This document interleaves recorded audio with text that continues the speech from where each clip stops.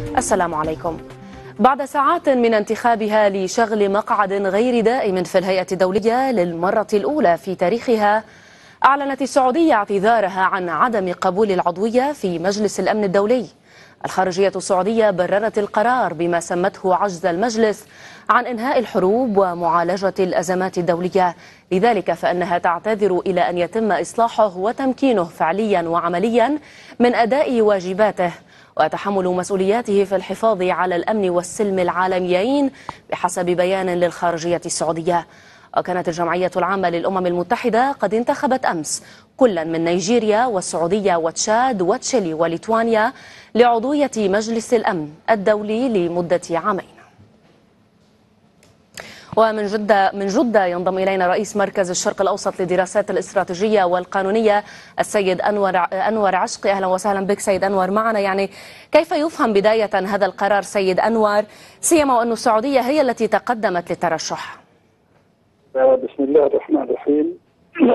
الحمد لله والصلاة والسلام على رسول الله وعلى آله وأصحابه العلاء المملكة العربية السعودية آه، وجدت أن مجلس الأمن طبعا لا يقوم بدوره الحقيقي في إشاعة السلام والمحافظة على السلام والأمن الدولي.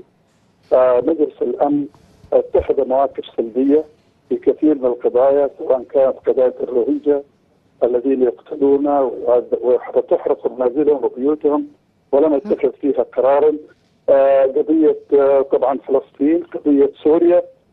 فلهذا المملكة العربية السعودية أرادت تبلغ العالم كله بأن هناك في آه يعني يعني في تقصير من المجلس الأمن ولا بد من مجلس الأمن أن يعيد حساباته ويهتم بهذه القضايا.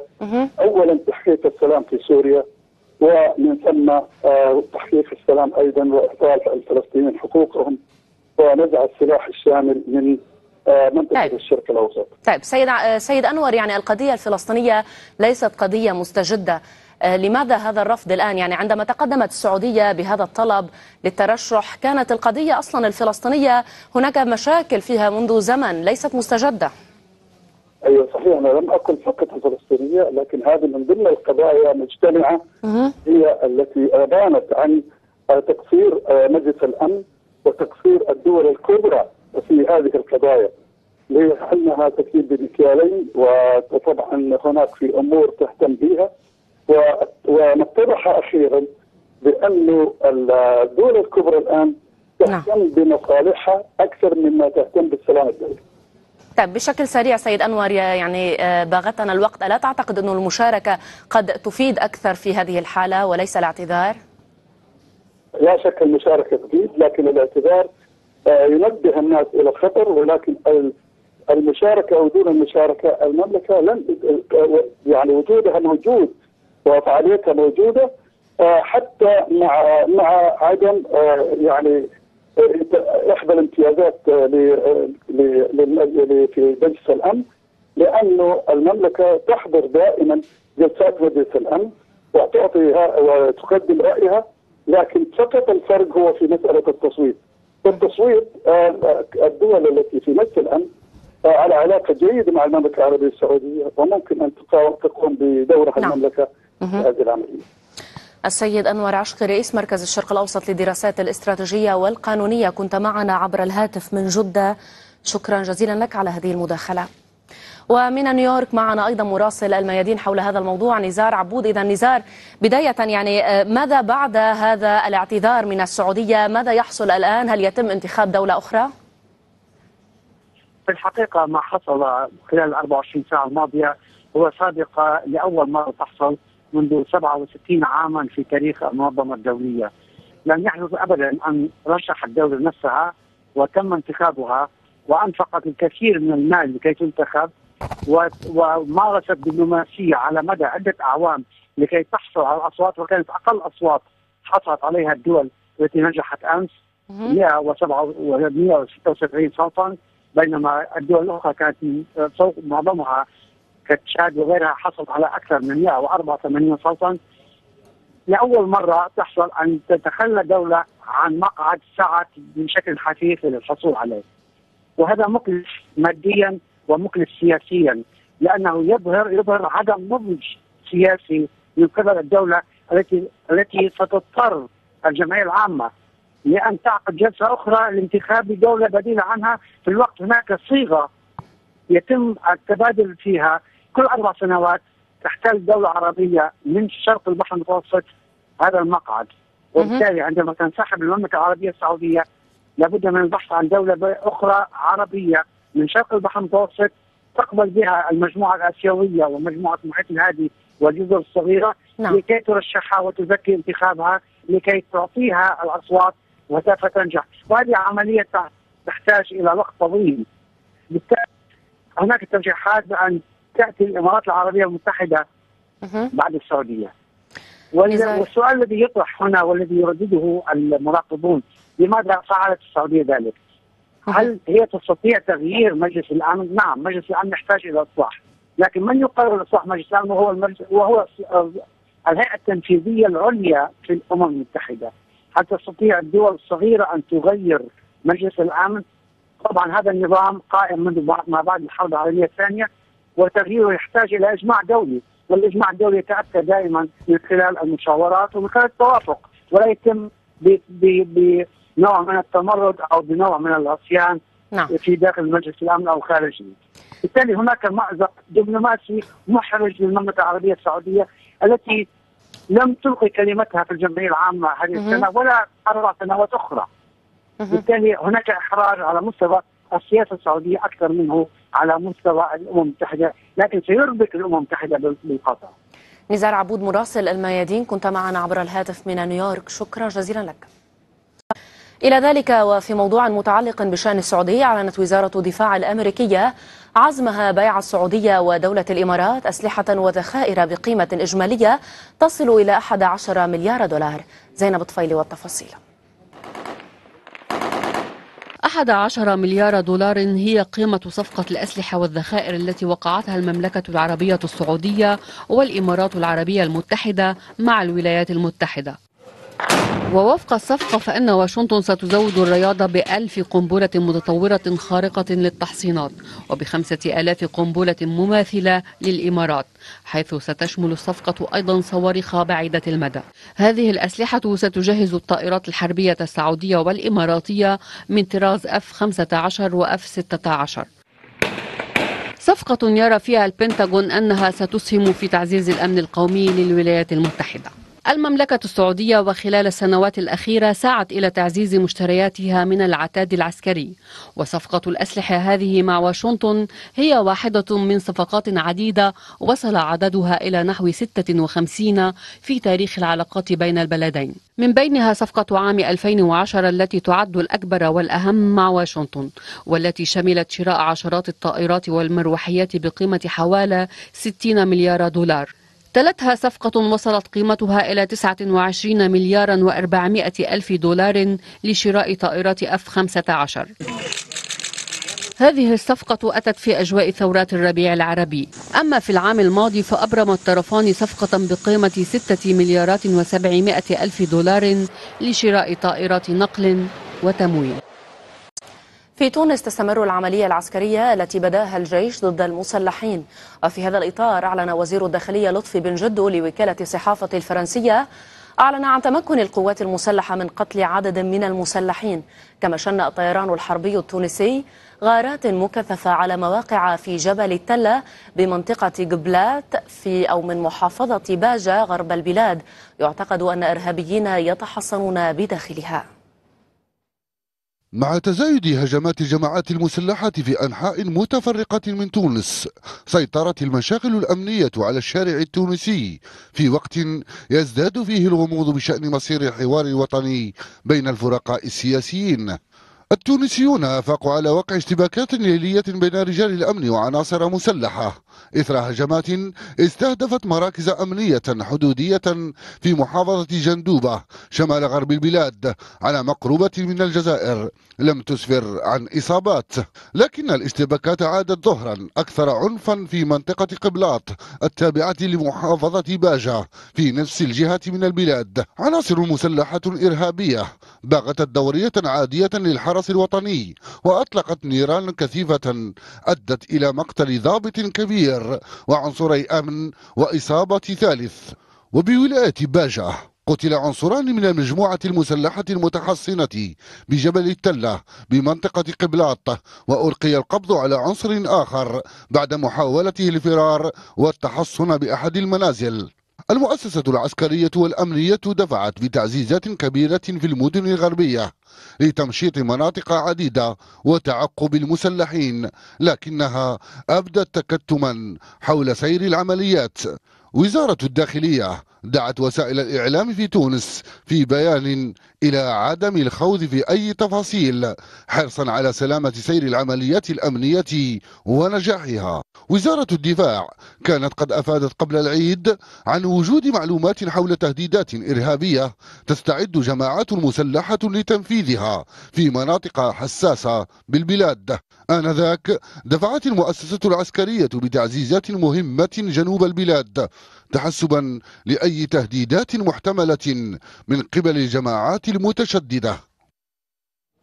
من جهة أخرى منع أو منع الرئيس التونسي المنصف المرزوقي ورئيس الوزراء علي العريض ورئيس المجلس التأسيسي مصطفى بن جعفر من حضور مراسم تشييع عنصرين من الجيش قتلا برصاص مسلحين غرب البلاد.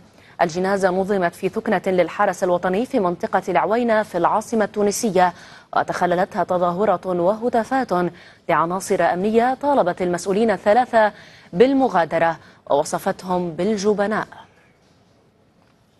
ومن تونس معنا مراسلة الميادين سميحة بوغانمي. إذا سميحة لو تضعينا في تفاصيل أكثر عن هذه العملية العسكرية. نعم ميدانين يتواصل القصف هنا في جبل إسماعيل لمحاولة القبض على العناصر الإرهابية. وبحسب آخر المعلومات تم حجز كميات من الأسلحة والمتفجرات. وأيضا تم إلقاء القبض على عدد من المسلحين.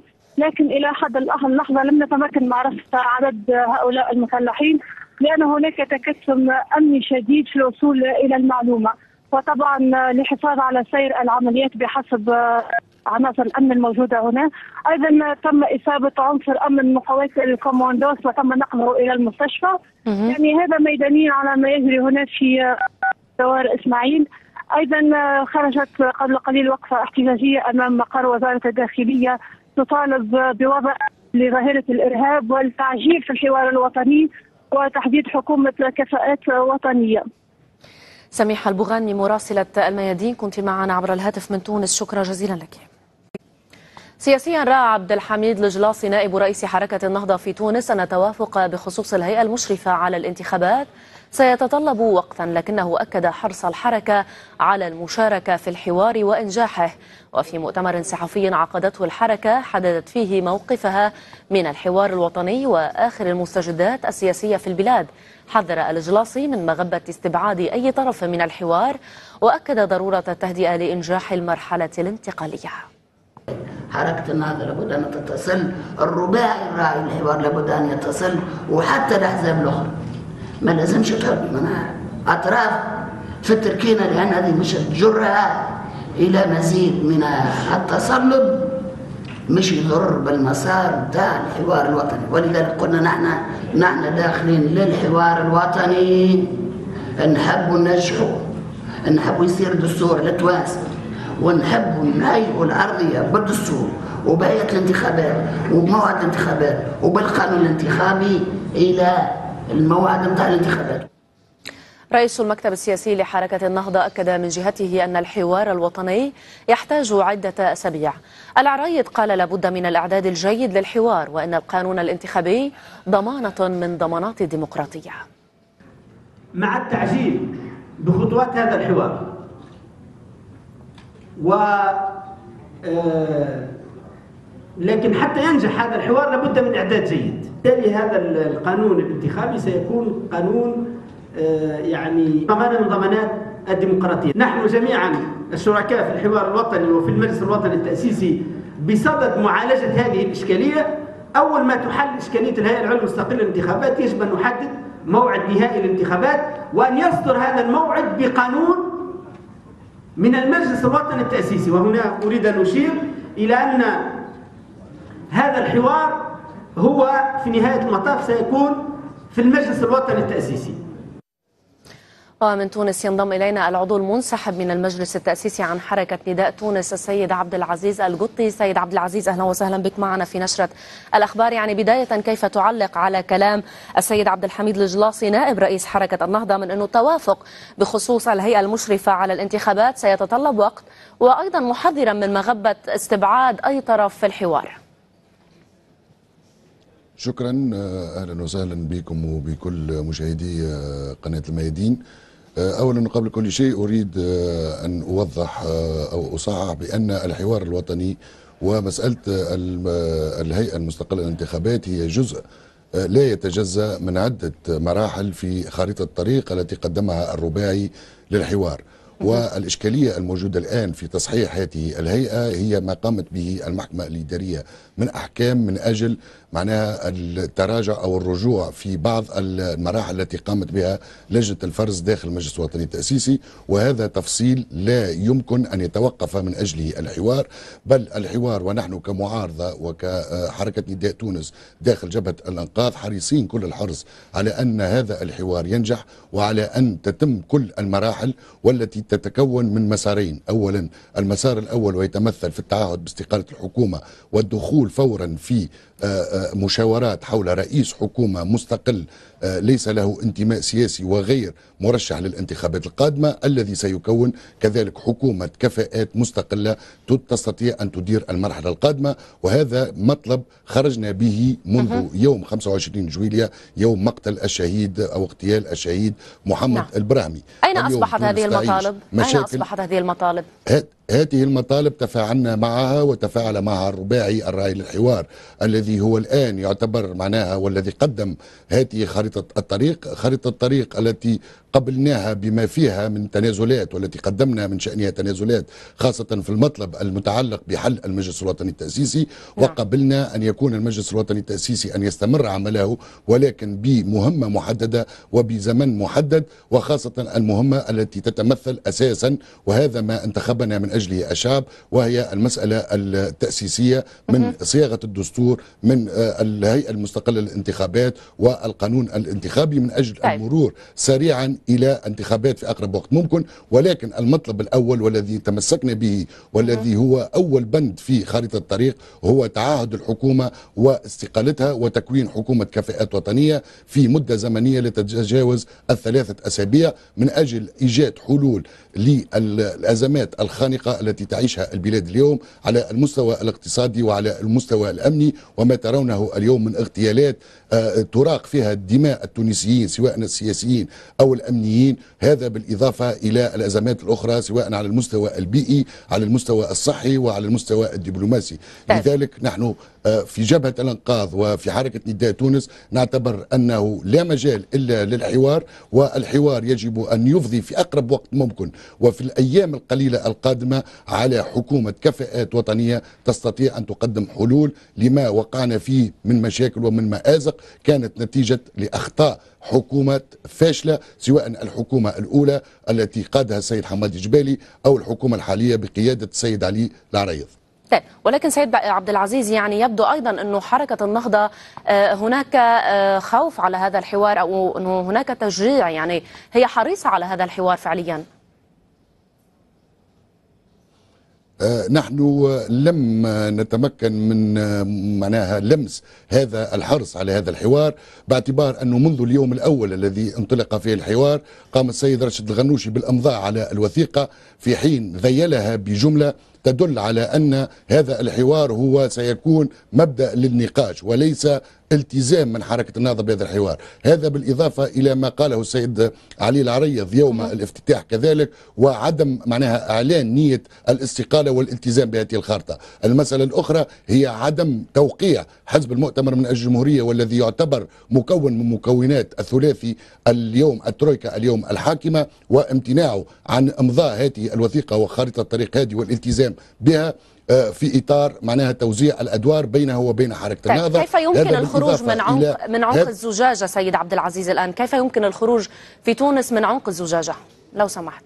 سأقول لك ذلك. هذا بالإضافة إلى البيان الذي قدمته حركة النهضة ومجلس الشورى من حركة النهضة الذي لا يلتزم فيه بخارطة الطريق هذه. هذا بالإضافة إلى أنه 113 نائب داخل المجلس الوطني التأسيسي الموجودين الآن داخله والمرابطين داخله ومنهم 90 نائب من حركة النهضة يمضون كذلك على وثيقة لا يلتزمون فيها بالحوار الوطني وبقرارات الحوار الوطني وما زالوا يتكلمون عن الشرعية التي ستنتهي مرة ثانية وسنحتفل بذكرى انتهاء الشرعية مرة ثانية يوم 23 أكتوبر. بالنسبة لنا كحل والحل الوحيد كحركة نداء تونس وجبهة الأنقاذ هو الالتزام الفوري بخارطة الطريق التي قدمتها المنظمات الراعية والإمضاء عليها هو الدخول في تطبيقها فورا والابتعاد على كل أنواع المماطلة وكل التصريحات التي يمكن أن تفسد الجو هذا العام للحوار وأن تعطي إشارات سلبية تؤدي إلى عدم الثقة بين الأطراف الموجودة في الحوار. ما نطلبه اليوم هو الدخول فورا في مفاوضات. اولا الإعلان عن استقالة هذه الحكومة والدخول فورا في مفاوضات ومشاورات لمدة أسبوع من أجل الإعلان عن اسم الشخصية الوطنية المستقلة نعم. التي ستكون توافقية بين بين الجميع من أجل تكوين الحكومة القادمة التي ستكون حكومة كفاءات وليست حكومة محاسبة. وهذا ما نريد التركيز عليه أن المعارضة اليوم في تونس غير نعم طرح على نفسها أن تكون في الحكم وإنما الانقاذ هذا البلاد وانقاذ تونس من براثين الإرهاب والرداءه في الأداء سواء على المستوى السياسي أو الاقتصادي أو الأمني أو البيئي أو الدبلوماسي. السيد عبد العزيز القطي عضو منسحب من المجلس التأسيسي عن حركة نداء تونس كنت معنا من تونس مباشرة شكرا جزيلا لك. أعلنت وزارة الخارجية البريطانية اليوم أن الأمم المتحدة تخطط لعقد مؤتمر جنيف 2 بشأن سوريا خلال الشهر المقبل.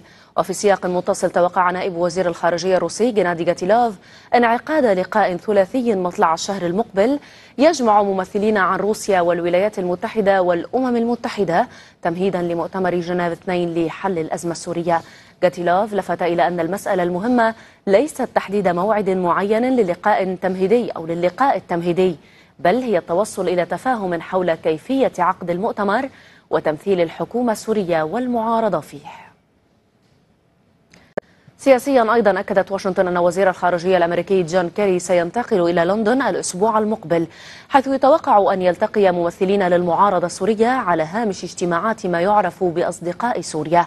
وفي باريس نقلت صحيفة الحياة عن مصدر فرنسي مطلع على المفاوضات بالنسبة إلى عقد مؤتمر جنيف 2 أن السعودية أكدت للجانب الفرنسي أنها لن تشارك فيه إذا لم يكن هناك وضوح حول هدفه وشروطه. رئيس هيئة التنسيق الوطنية لقوى التغيير الديمقراطي السورية في المهجر هيثم مناع. أعلن اليوم أن أسماء وفد الهيئة إلى مؤتمر جنيف 2 باتت معروفة. مناع أضاف أن المشكلة ما زالت تتمثل بوفد الائتلاف السوري المعارض الذي يعاني من مشاكل داخلية ومن التخبط في العلاقة مع العديد من الجماعات المسلحة. كما أشار مناع إلى أن المشاركين من الهيئة الكردية العليا أصبحوا معروفين وتحددت معالمهم وكذلك الاقتراحات المتعلقة ببقية المعارضين السوريين. ومن اللاذقية ينضم إلينا عضو المكتب التنفيذي في هيئة التنسيق السيد منذر خدام. أهلا وسهلا بك سيد منذر. معنا بداية من هي الأسماء التي تم طرحها وعلى أي أساس اختيرت؟ لا شك بالنسبة للهيئة يعني يأتي انعقاد مؤتمر جنيف بما يتوافق الحقيقة مع الخط السياسي للهيئة. في البداية. آه، بالنسبة للهيئة آه، يعني عندما طرحت فكرة مؤتمر جنيف لا شك تداولنا في المكتب التنفيذي ويعني طرحنا مجموعة من الأسماء لكي تمثل الهيئة في أي مفاوضات في حالة في حال لم تنجح الهيئة والأطراف الأخرى في تشكيل وفد للمعارضة مشترك. نعم. نحن كنا منذ البداية نفضل أن يكون هناك وفدا مشترك لكن على أساس برنامج سياسي ورؤية سياسية واضحة آه، لسوريا. لكن كما تعلمين المعارضة السورية للأسف آه، مختلفة جذريا ليس فقط في رواء في رؤاها السياسية بل وفي يعني ارتهان ارادات البعض منها لأجندات أخرى، على كل حال ما يهمنا في الهيئة في حال دعينا كممثلي الهيئه فسوف يرأس الوفد بالتأكيد الأستاذ حسن عبد العظيم المنسق العام. وسيكون في الوفد الدكتور هيثم مناع وسيكون الأستاذ رجاء الناصر سيكون أنا أيضا الدكتور مزر خدام. في حال طبعا سمحت السلطات السورية لي بالمغادرة سيكون أيضا عن الإخوة الأكراد في عضوية في حال في حال لم يذهبوا كوفد مستقل يعني إذا ذهبوا كوفد مستقل باسم الهيئة الكردية نعم. العليا لا لن يشاركوا في وفد الهيئة سوف يشاركون ضمن الهيئة الكردية العليا علما أن هناك حزبين رئيسيين آه، من الإخوة الأكراد هم في الهيئة. سيكون أيضا إلى جانب هؤلاء طبعا هناك أيضا الدكتور عارف دليلة الشيخ رياض دار إلى آخره هناك أسماء عديده ربما أغلب المكتب التنفيذي سيكون حاضر في في في جنيف في حال اتخاذ قرارات معينة أو الاستشارة وتبادل الرأي ودعم الوفد المفاوض للهيئة. نعم. طيب. سيد منذر يعني روسيا تسعى لأن تكون كل الأطراف ممثلة في هذا آه، المؤتمر. أي تداعيات ستكون هناك في حال غياب طرف من هذه الأطراف؟ أنا أعتقد من يغيب عن مؤتمر جنيف لن يؤثر على مؤتمر جنيف. من وجهة نظري. نعم. آه، بل هو سي- سيخسر. هذه فرصة تاريخية لإنقاذ سوريا. هذه فرصة تاريخية. الشعب السوري لن يغفر أبدا لمن لا يساهم في إنقاذ سوريا. ولذلك نحن دعينا ولا نزال ندعو شركائنا في المعارضة على اختلاف اتجاهاتهم أن لا يفوتوا هذه الفرصة. وبادرنا أكثر من مرة باتجاههم رغم الخلافات. بل اقترحنا في مرحلة معينة أن يكون الأستاذ رياض سيف رئيس الوفد المشترك. وهو كما تعلمين هو من الائتلاف. بالنسبة للهيئة يهمها إنقاذ سوريا وليس آه، هذا الشخص أو ذاك فبالتالي وأيضا آه، نحن كنا دائما نقول الهيئة ليست هي كل المعارضة والائتلاف ليس كل المعارضة. هناك معارضين آخرين. ومن حق هؤلاء أيضا أن يساهموا في المؤتمر بل أكثر من ذلك لا شك هناك أغلبية صامتة في في الشعب السوري. وهذه الأغلبية تحتاج إلى أن يكون صوتها مسموعا في مؤتمر يقرر مصير بلدها. بالنسبة للهيئة على جميع ممثلي الشعب السوري ومن يساعد في إنقاذ سوريا عليه أن يشارك في هذا آه، المؤتمر وإلا التاريخ لن يرحم. طيب سيد منذر بشكل سريع لو سمحت يعني اليوم آه، تعتقد في أي إطار يمكن وضع رفض بعض الأطراف في المعارضة من المشاركة في جنيف اثنين؟ أنا حتى هذه اللحظة يعني لست متشائما وأنا أعتقد آه، ربما سوف يحضرون في اللحظة الأخرى. أنت تعلمين في في ال- الخطوات السابقة لأي مؤتمر. هناك أصوات ترتفع من أجل أن تعلي آه، سقف مطالبها أو اشتراطاتها. على كل حال نحن نعلم الظروف التي آه، يعني تحكم ال- الكثير من المعارضين. وبالتالي يعني آه، عندما تقتنع الأطراف التي تمون عليها أقول بين قوسين في حضورها فسوف تحضر. أنت تسمعين الآن بأوساط الائتلاف أصوات مختلفة.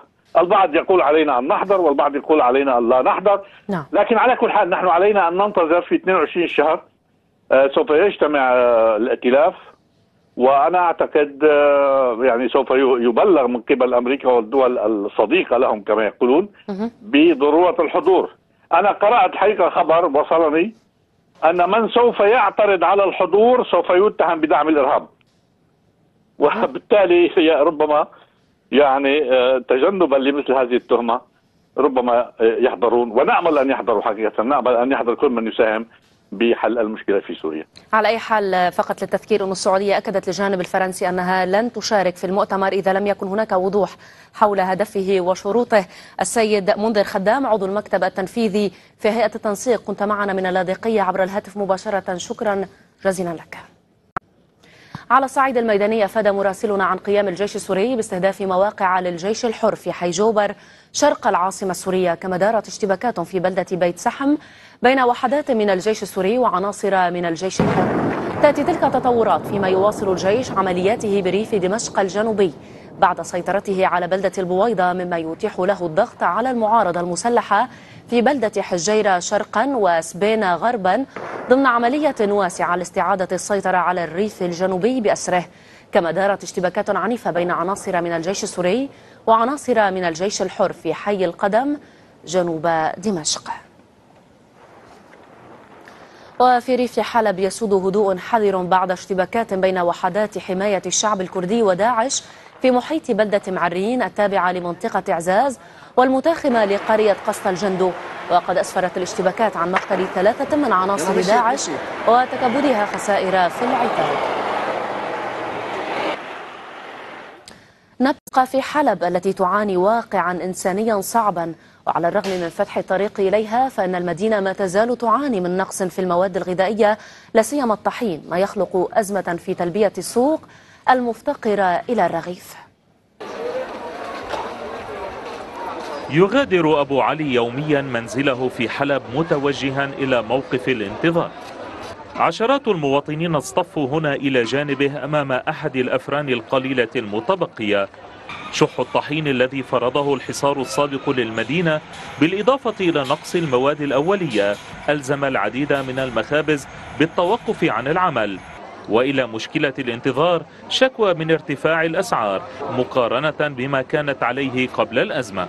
أنا زلمة عندي هالولد عم بشتغل ب 200 ورقة ب 300 ورقة. كل نهار أنا بدي شخصيا أنا وابني بدنا كل نهار ب 150 ورقة خبز وباكيت وطبخة يعني كل نهار بدي 700 800 ورقة. بقى الله يعيني الساعد اللي اللي برابطه أربع خمس تنفس ست تنفس سبع تنفس. هذا كل نهار بده 3000 ورقة. منين بدها تجي 3000 ورقة؟ من 3000 ورقة ما عم باخذ أنا 500 ورقة. دخول قوافل المساعدات والمواد إلى حلب لم يلغي مشكلة رغيف الخبز والأفران فالأسواق عطشة إلى الطحين وكل المواد الغذائية. حاليا عم نبيع 7 رغيف ب 100 14 رغيف ب 200 كانت أول كيلو ب 9 ليرات. إن شاء الله ما تستمر. وإن شاء الله نحاول قدر الإمكان إن نساعد المواطن ونعطي للمواطن أكبر كبير الأصعب على أبي علي من الانتظار في الطوابير هو الأولوية التي يعطيها بعض الخبازين لأصحابهم بالالتفاف على الدور وهو أمر يتكرر في الفرن والعمل والوظيفة وكل مظاهر الحياة كما يشكو لكن الأدهى يبقى دوما الظروف الاقتصادية المتردية. والله العظيم بديني وحياة ولادي العشرة من ثلاث سنين ما أكلت لحمة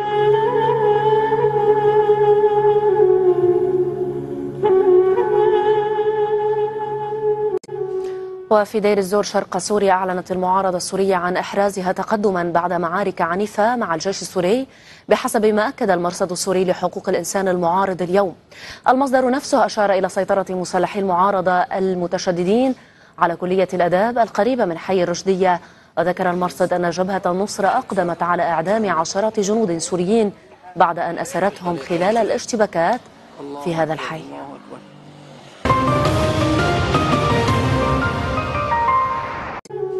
وفي دير الزور شرق سوريا أعلنت المعارضة السورية عن إحرازها تقدما بعد معارك عنيفة مع الجيش السوري بحسب ما أكد المرصد السوري لحقوق الإنسان المعارض اليوم.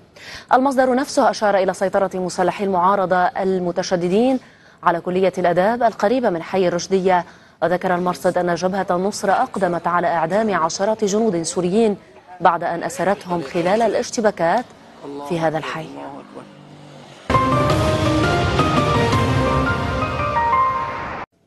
قال وزير الخارجية المصري نبيل فهمي أن بلاده ستعمل على تأمين احتياجاتها الحيوية المرتبطة بأمنها القومي من مختلف المصادر الخارجية سواء من الولايات المتحدة أو من غيرها. فهمي وفي حديث لقناة سي إن إن أكد أن مصر حريصة على علاقاتها مع الولايات المتحدة طالما أن هناك حرصا أمريكيا مقابلا.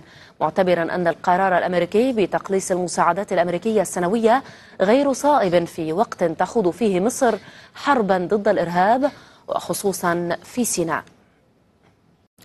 إلى ذلك انطلقت مسيرات ضمت مئات المتظاهرين من أنصار جماعة الإخوان المسلمين في القاهرة وفي شارع الهرم بالجيزة تلبية لدعوة التحالف الوطني لدعم الشرعية في مصر تحت شعار جموعة كشف الحساب. بيان للتحالف أوضح أن الاحتجاجات تأتي لمناسبة مرور 100 يوم على عزل الرئيس السابق محمد مرسي. كانت قد أحكمت تأمين ونبقى في مصر حيث يجمع أو يجمع إسلاميون أو يجمع إسلاميون وليبراليون على رفض قانون التظاهرات الجديد المتوقع إقراره قريبا من قبل الرئيس المؤقت عدلي منصور. قانون ترى القوى السياسية أنه يتعارض مع حرية التعبير. جدل كبير أثاره قانون التظاهر الجديد الذي تعتزم الحكومة المصرية على إصداره بقرار من الرئيس المؤقت عدلي منصور في أعقاب إجازة عيد الأضحى. قانون عارضته بشدة القوى المدنية والثورية والإسلامية لكونه يسمح لقوات الشرطة باعتقال وفض أي اعتصام باستخدام القوة كما لا يسمح القانون الجديد لأي شخص بالاعتصام أو حتى التظاهر أمام المؤسسات الحكومية. هذا القانون إحنا رافضينه شكلا وموضوعا كل القيادات السياسية رافضة هذا القانون ولازم يكون في حوار مجتمعي مع مطالب الشعب مطالب الثورة ومن خلالها إحنا كده اسمها مطالب وإجهاض لطالب ثورة 25 يناير وإن كان لابد من قانون جديد للتظاهر يشدد الخبراء على ضرورة احترام حرية المعايير الدولية التي ترسم شكل الاعتصامات والتظاهرات. يصدر القانون بمادتين اثنين مادة تجرم استخدام الأدوات المختلفة للعنف ويحدد ما هي هذه الأدوات ثم عقوبات لمستخدمي العنف. على أن تقوم وزارة الداخلية طوال الوقت بحماية المتظاهرين السلميين. هذه مسألة ضرورية لكن أنا أعتقد أنه من الأوفق والأفضل والأجدى أن يؤجل النظر في القانون كله إلى ما بعد انتخاب المجلس النيابي.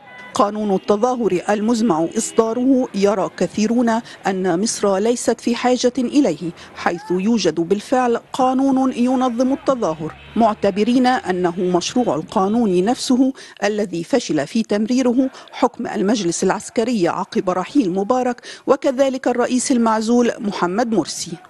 منع التظاهر وليس قانونا لتنظيم حق التظاهر. تفسير لبعض القوى السياسية والثورية لإصدار مثل هذا القانون في ظل تفعيل قانون الطوارئ الذي يمكن الدولة من السيطرة على أي نشاطات أو تظاهرات غير سلمية. سمية الشناوي القاهرة الميادين. وإلى صفحة الأخبار الاقتصادية والزميله إليسار كرام يعطيك العافية إليسار. الله يعافيك وعلا شكرا لك.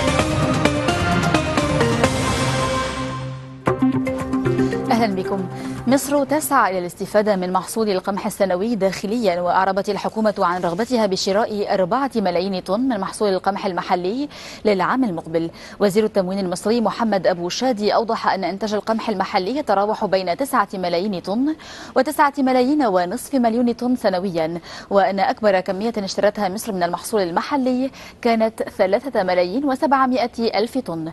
علما أن مصر هي أكبر مستورد للقمح في العالم وتستهلك عادة نحو 18 مليون طن إجمالا وتشتري نحو 10 ملايين طن سنويا من الأسواق الدولية. انخفض هامش ربح التكرير لدى مجموعة أو ام في النمساوية للنفط والغاز بمقدار نصف في الربع الثالث من العام إلى دولار و17 سنتا للبرميل مع ارتفاع أسعار النفط الخام. المشكلات الأمنية في ليبيا واليمن أدت إلى خفض إنتاج الشركة وتقليص حجم مبيعاتها وهي التي يشكل إنتاجها من الحقول النفطية الليبية نحو 10% من إجمالي إنتاج الشركة. أثار أزمة الميزانية تظهر على مختلف جوانب الحياة العامة في الولايات المتحدة حيث ألغت الحكومة الأمريكية قرارها أو تقريرها الشهري عن إنتاج الحبوب والقطن للمرة الأولى منذ بدء إصداره منذ 147 عاما. وقالت إنها لن تصدر تقريرات للمحاصيل الأمريكية أو العالمية قبل تشرين الثاني نوفمبر. التقرير هو أكبر ضحية لإغلاق استمر 17 يوما لمؤسسات حكومية كثيرة. وقد بحث المسؤولون اليوم أيضا إمكان تأخير إصدار تقرير معدل التضخم الشهري لأن تأخير الأعمال ترك آثارا مكلفة وواسعة النطاق النطاق وافقت شركة روسنفت وهي أكبر منتج للنفط الخام في روسيا على التخلي عن جزء من ثرواتها النفطية للصين. ووقعت مذكرة لتطوير مكامن في شرق سيبيريا لاستغلال احتياطيات نفطية بطريقة مشتركة. وكانت روسيا في السابق تفضل توقيع اتفاقات توريد طويلة الأجل مع الصين مدعومة بقروض بعدة مليارات دولار. علم أن الصين هي أكبر مستورد للنفط في العالم وسوف تملك روسنفت حصة مسيطرة تبلغ 51% في المشروع المشروع المشترك بينما تملك الشركة الصينية الرسمية 49% مسجلا تسارعا هو الأول بعد فصلين من التباطؤ. نمو الاقتصاد الصيني يرتفع بنسبة 7 و8 أعشار في المئة في الفصل الثالث من العام فيما ارتفع إجمالي الناتج الداخلي الصيني بنسبة 7 و7 أعشار في المئة في الأشهر التسعة الأولى. وحقق النمو الاقتصادي الصيني العام الماضي أضعف أداء منذ 13 عاما ما أثار مخاوف من حصول انكماش في ثاني أكبر اقتصاد في العالم ودفع بكين إلى تحفيز الاقتصاد واتخاذ إجراءات كالإعفاءات الضريبية. نمو الاقتصاد الصيني انعكس نموا في أرباح الشركات الصينية الحكومية. عشرة ونصف في المئة نسبة النمو في الأشهر التسعة الأولى من العام ما يؤكد استعادة اقتصاد البلاد لبعض عافيته وقوته. وزارة المالية الصينية كشفت أن الأرباح الإجمالية بلغت 290 مليار دولار حتى نهاية الشهر الماضي. شركة الكهرباء الإلكترونيات النقل البتروكيماويات سجلت النمو الأكبر في الأرباح بينما سجلت شركات المعادن غير الحديدية والكيميائيات. انخفاضا كبيرا. شركة جوجل التي تملك محرك البحث الإلكتروني الأكثر شهرة واستخداما في العالم تحقق إيرادات ضخمة في الربع الثالث من العام الحالي عند 14 مليارا و890 مليون دولار. أرباح الشركة بلغت مليارين و970 مليونا صعودا من مليارين و18 مليونا في الفترة نفسها من العام السابق حيث حققت قيمة السهم الواحد صعودا بنسبة تفوق 25% اتفاق اللحظات الأخيرة في الكونغرس الأمريكي لم يحل دون ارتفاع سعر الذهب. فالمعدن الأصفر ما زال الملاذ الآمن للمستثمرين مع احتمال إرجاء خفض التحفيز النقدي الذي يقوم به مجلس الاحتياطي الاتحادي في واشنطن. وارتفع سعر الذهب في السوق الفورية إلى 1321 دولار للأونصة لتبلغ مكاسبه هذا الأسبوع نحو 4% وكان الذهب قد هبط خلال فترة إقفال بعض المؤسسات الحكومية نحو 4% ختام الموجز وعودة إليك علا شكرا لك لسار اقتصر ارتياد المقاهي في موريتانيا حتى وقت قريب على الجاليات المقيمة وبعض الشباب الموريتانيين خريجي الجامعات العربية إلا أن المقاهي انتشرت بشكل واسع في البلاد في السنوات الأخيرة وتحولت المقاهي إلى منابر حرة لنقاش مخ أو لنقاش مختلف المواضيع السياسية والفكرية والثقافية. مقهى تونس بقلب نواكشوط بات محطة ثابتة في البرنامج اليومي للشيخ دومان ورفاقه في التيار الوطني التقدمي. المقهى واحد من عشرات المقاهي التي اكتسحت أهم شوارع العاصمة في السنوات الأخيرة قبل أن تصبح محطة اهتمام مختلف القوى السياسية والثقافية بالبلد. لما يدور داخلها من حوارات أحيانا تؤرخ لميلاد تيارات سياسية جديدة. التيار الوطني التقدمي بدأ هنا من هذه القهوة وحول هذه الطاولة تحديدا. بدأ فكريا تيارا فكريا. مهدت التفاهمات الفكرية لخلق ثقة ولخلق مناخ استثمرناه لخلق هذا التيار السياسي الذي نطمح من خلاله في المشاركة في العملية السياسية. ثورة على الأطر التقليدية للممارسة السياسية والثقافية في موريتانيا. هنا في كل زوايا المقهى من بعد الغروب وحتى ساعات الفجر الأولى نقاشات لا بل مؤتمرات وندوات أحيانا. كما هو الحال هنا في هذه الأمسية الثقافية بالتعاون بين المركز الفرنسي في نواكشوط وكتاب ومثقفين موريتانيين. مقاهي من ساهمت في, في, في, في ايجاد يعني طبقة جديدة من من, من أصحاب الرأي في موريتان اللي هم الشباب في موريتان ولا مختصر فقط على الشباب معها الرجال الكبار معها الكول وحتى يجوا العليات تغيرت العقلية. من كنا كاملين في البيت مع جماعة محدودة إلى القهوة جماعة أوسع. خارج دائرة جلسات النقاش هناك من يفضلون الصمت. إنهم المدونون ونشطاء مواقع التواصل الاجتماعي التي عرفت إقبالا غير مسبوق. وباتت مصدر المعلومة الأول منذ بداية ما بات يعرف بثورة المقاهي هنا. الحراك الفكري والسياسي المتنمي بمقاهي نواكشوط لا يتجاوز في نظر البعض مجرد حالة تأثرية بما يجري في بلدان عربية أخرى.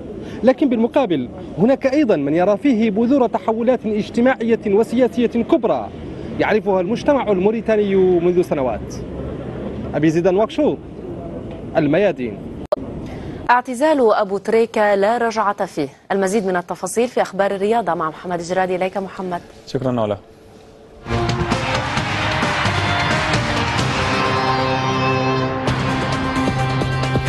السلام عليكم. قرار الاعتزال لم يكن وليد الصدفة وهو نهائي لا رجعة فيه. تأكيد خرج به النجم المصري محمد أبو تريكة على خلفية إعلانه نيته الاعتزال نهائيا في ختام الموسم. ماجيكو نفى إمكانية خضوعه للضغوط الهادفة إلى العدول عن قراره. نجم الأهلي أكد أن قرار الاعتزال لم يأتي كردة فعل على الهزيمة القاسية أمام غانا ولم يكن وليد لحظة ضعف أو يأس. تراجع وزير الرياضة البرازيلي آلدو ريبيلو عن استقالته من منصبه المسؤول الرئيسي عن الاستعدادات لتنظيم المونديال عدل عن قراره بعد اجتماعه مع الرئيسة ديلما روسيف. متحدث باسم الوزارة أكد طلب روسيف بقاء ريبيلو لمواصلة تنسيق الاستعدادات. قرار استقالة الوزير جاء سعيا منه إلى الترشح لمنصب حاكم ولاية ساو باولو العام المقبل. رئيس الحزب الشيوعي سيشهد تسليم الملاعب المقررة إلى فيفا في موعدها المرتقب نهاية العام الحالي. قمة مباريات المرحلة الثامنة من الكالتشيو الإيطالي يحتضنها ملعب أولمبيكو روما المتصدر يستضيف ملاحقه نابولي في صراع قوي تحت أنظار يوفنتوس حامل اللقب والمتأهب لخطف الصدارة. فريق العاصمة المتصدر يسعى لاستكمال انطلاقته النارية هذا الموسم. فريق الذئاب لم يفرط بأي نقطة محققا سبعة انتصارات متتالية. روما سجل 20 هدفا واهتزت شباكه مرة واحدة فقط وسيكون الفريق الأزرق مدعوما على الأرجح بأسطورته مارادونا من المدرجات. ويبدو الفريق الجنوبي متوهجا تحت قيادة مدربه الإسباني رافائيل بينيتيز ويسعى الأرجنتيني غونزالو إغوايين لخطف نقاط المباراة الثلاث لفريقه مدعما بالإسباني خوسيه كاييخون وسلوفاكي ماريك هامسيك نتائج المنتخب الألماني المميزة تدفع اتحاد كرة القدم إلى تمديد عقد المدرب يواكيم لوف حتى تموز يوليو من العام 2016 لوف أعرب عن امتنانه لثقة الفريق والاتحاد الألماني به ووعد بمزيد من التطور في الفريق وبقوة جديدة بصدد التفجر. لوف تولى منصب مدرب المنتخب الألماني عقب مونديال 2006 خلفا ليورجن كلينسمان. لم تخسر ألمانيا تحت قيادته سوى ثلاث مباريات رسمية اثنتان منها أمام إسبانيا في نهائي كأس الأمم الأوروبية عام 2008 ونصف نهائي مونديال 2010 أما الثالثة ففي مواجهة إيطاليا في نصف نهائي كأس الأمم الأوروبية العام الماضي. في عالم الكرة الصفراء الفرنسي جو ويلفريد تسونجا يتأهل بصعوبة إلى ربع نهائي دورة إيرست النمساوية الدولية. المصنف أولا في البطولة أقصى الألماني دانيال براندز تسونجا أنهى اللقاء بمجموعتين لواحدة وضرب موعدا في دور الثمانية مع النمساوي دومينيك ثيم المتأهل من بوابة تشيكي ياروسلاف بوسبيسل.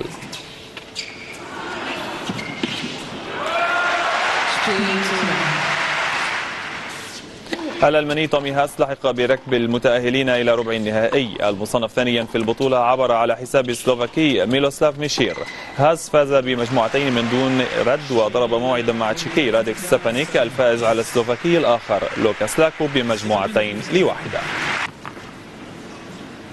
بطل التنس مالك الجزيري غير مذنب. رابطة اللاعبين المحترفين برأت التونسي بعدما أرغمه اتحاد بلاده على الانسحاب من دورة تشقند لتفادي مواجهة لاعب إسرائيلي. الرابطة أجرت تحقيقاتها في القضية حيث لم تجد أي مخالفة ارتكبها اللاعب وأرسلت الملف إلى الاتحاد الدولي الذي سيجري بدوره تحقيقاته ليحدد ما إذا كان الاتحاد التونسي هو المسؤول عن هذه القضية. وسيدرس الاتحاد الدولي القضية في اجتماعه المقبل. كان هذا ما لدينا من أخبار رياضية. نشكر لكم حسن المتابعة. عودة إليك على مجددا. شكرا لك محمد. وإلى الماضي الحاضر. Thank you.